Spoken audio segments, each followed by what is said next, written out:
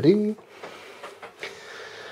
Hallo und herzlich willkommen im Hobbykeller. Ich bin der Bob. Erstmal das Ding hier wegräumen. Und willkommen zum heutigen Obsoleszenzvideo, beziehungsweise moderne Technologien und effiziente Technologien. Das ist heute alles so ein bisschen aneinander. Ähm, das möchte ich jetzt drehen, das Video, aus zwei Gründen. Erstens haben ja einige Leute geschrieben, dass sie halt immer nur so ganz kleine Solaranlagen haben. Sie haben zum Beispiel einen Wohnwagen, wo nicht viel drauf geht. Ähm, oder halt einfach nur einen winzig kleinen Balkon und sie möchten aber trotzdem irgendwas machen und kommen dann so, macht das überhaupt Sinn? Mit so einer winzig kleinen Solaranlage. Und dann einmal die Leute, die fast gar nichts machen können. Ja?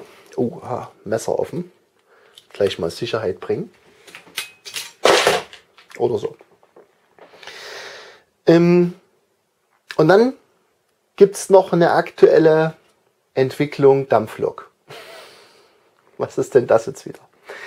Mein kleiner Sohn, der liebt Dampfloks, okay? Und ich habe jetzt meine Kiste ausgepackt, die steht da, die könnt ihr jetzt nicht sehen.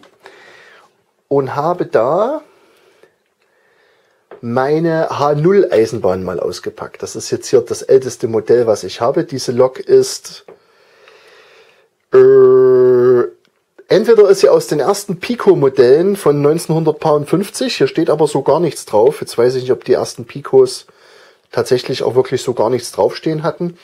Oder sie ist sogar noch älter. Mein Opa hat irgendwann mal gemeint, so 1930 oder 20 oder so. Was ganz, ganz altes. Äh, dann würde diese Lok jetzt bald mal 100 Jahre alt werden. Sie fährt auch nicht mehr. Ich glaube, ich habe da irgendwann mal versucht, die zu reparieren, aber sie fährt halt einfach nicht mehr. Hat auch hinten keine Lichter, hat nur hier so ganz knuffige kleine runde Lichter. Wir haben aber eine Dampflok, die lässt sich immer noch bewegen, macht sie auch wunderbar. Vielleicht schneide ich euch mal irgendwo was rein. Im, hat aber damit jetzt nicht wirklich was zu tun. Ich möchte euch mal gern diesen Pico Travo hier zeigen. Und für die ersten, die schon ins Lachen anfangen, Pico deswegen, weil meine Solar, also meine, meine Solaranlage, schön wär's. Äh, mein gesamtes äh, Eisenbahnequipment hier ist DDR-Produktion, ist von meinem Opa geerbt. Und das ist nun mal leider Pico. Oder was heißt leider? Ich finde das Zeug halt cool, aber es ist Pico und Fleischmann und was nicht alles gibt hier. Äh, was die ganz große Firma, die da was macht, keine Ahnung. Es spielt auch keine Rolle.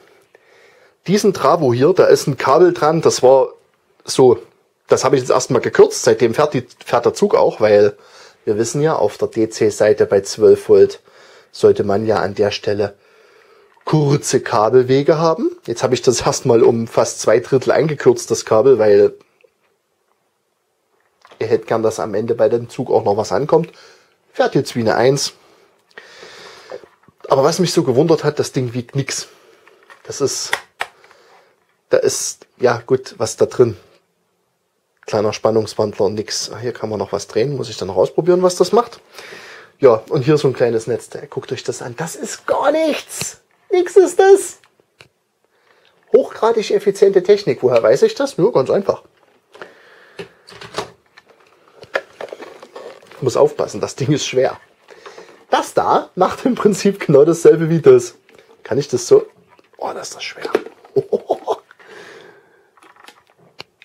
Nur das hier ist von. Steht das irgendwo drauf? Hm. Nee. Das ist noch für 220 Volt, logisch.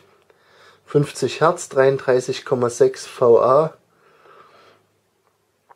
1,7 bis 12 Volt bei 1,2 Ampere, Zubehör 16V, hm, keine Ahnung, nur zu verwenden in trockenen Räumen. Das war mir fast klar, wenn man hier oben was anschließen kann. Ähm jetzt seht ihr hier eine Effizienzsteigerung. Die Bauteile hier sind logischerweise viel jünger. Die Bauteile hier sind viel, viel effizienter. Und die Bauteile hier sind viel, viel leichter. Ist, glaube ich, an der Stelle äh, logisch. Äh, die alten Loks fahren übrigens mit dem wunderbar. Ich habe alles schon ausprobiert. Unter mir ist ein, ein Gleis. Das, äh, ich muss gerade aufpassen, wo ich hintrete. so, was ich damit sagen will, ist, unsere Technik ist unheimlich effizient geworden. Unheimlich effizient. Und genauso wie diese Travos hier immer effizienter werden, ähm, werden natürlich auch Solarmodule immer effizienter. Das heißt, auch heute oder speziell heute in 2020, je nachdem, wann ihr das Video schaut, ist das vielleicht noch weiter gediehen, ähm, werden natürlich die Module auf selber Fläche immer mehr Leistung erzeugen. So gängiges äh, Ding war jetzt immer so 18 Prozent bei Monokristallinen und die neueste Generation, die jetzt dann 2021 auf den Markt kommen soll, hat dann wohl schon 22 Prozent Wirkungsgrad. Das heißt, 22 Prozent vom aufgefangenen Licht wird in elektrische Energie umgewandelt. Damit kannst du auf gleicher Fläche viel mehr Strom erzeugen. Wir gehen also in, in super gute Richtungen. Andererseits ist es so, wenn man jetzt ein, einen hocheffizienten Fernseher hat, verbraucht man ja weniger. Wenn man effiziente Leuchtmittel hat, verbraucht man nicht so viel Strom. Wobei mir das hier im, im Keller eigentlich relativ wumpe sein kann, weil das läuft alles über Solarstrom. Nichtsdestotrotz, ihr seht das da hinten immer noch die Lücke. Ich bin immer noch nicht dazu gekommen, den ganzen Krempel wieder zusammenzuräumen und mal die Batterien fertig zu testen. Ähm, kann man da schon eine ganze Menge Energie sparen. Ganz einfacher Fall, Wäschetrockner.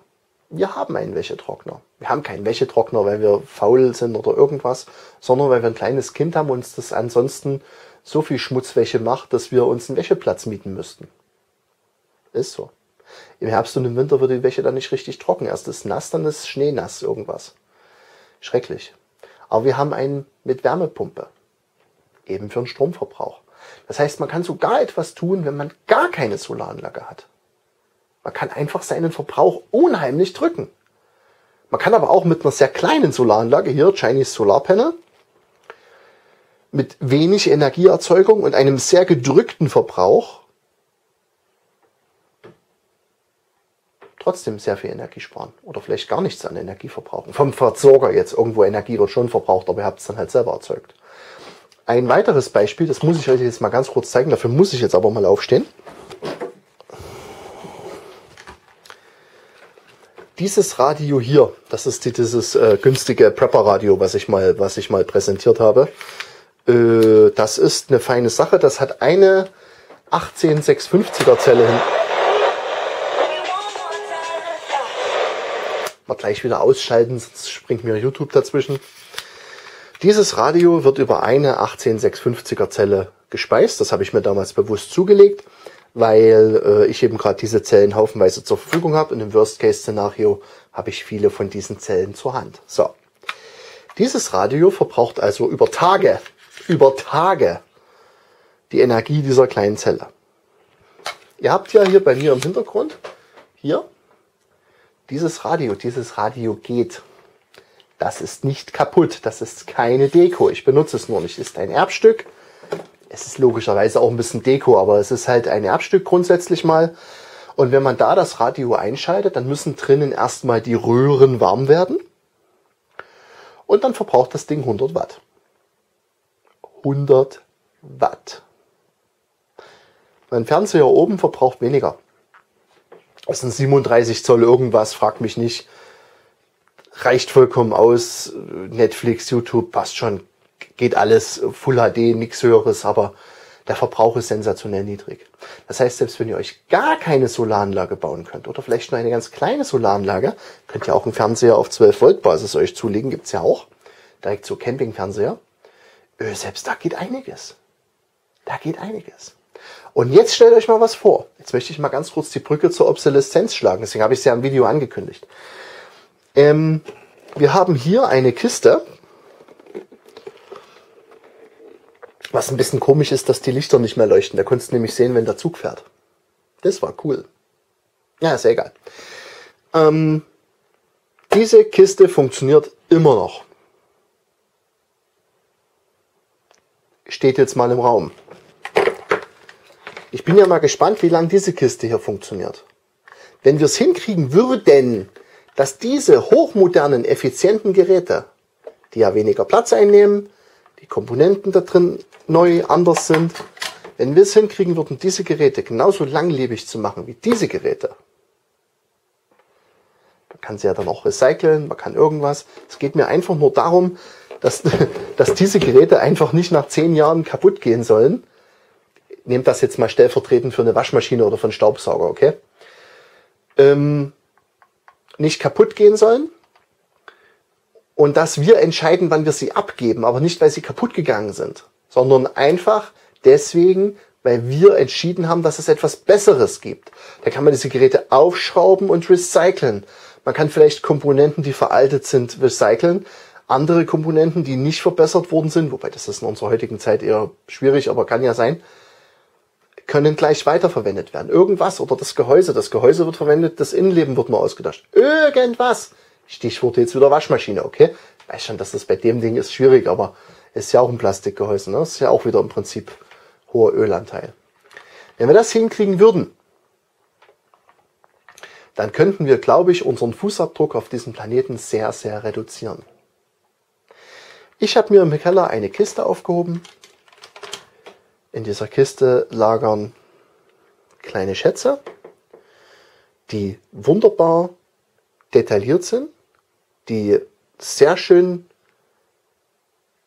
aufbereitet sind, auch wenn hier ab und zu schon so ein kleiner Dämpfer fehlt und so ist es halt, ja, es hat sehr lange da drin gelegen. Aber das hier ist gelebte Geschichte und das hier ist ressourcenschonend, weil ich jetzt im Prinzip neue Gleise und einen neuen Travo mir organisiert habe, weil ich auch ehrlich gesagt gar nicht gewusst habe, dass ich den noch habe. Aber das Zeug ist noch da. Und mein Kleiner hat an so einer Lok mal ganz realistisch, genau denselbe Freude wie an einer neu gekauften Lok. Checkt er den Unterschied? Ja, er checkt den Unterschied schon, weil er spürt, dass mir hier auch das Herz aufgeht, weil da Erinnerungen drin stecken. Ressourcenschonung, verbesserte Technik, moderne Solaranlagen.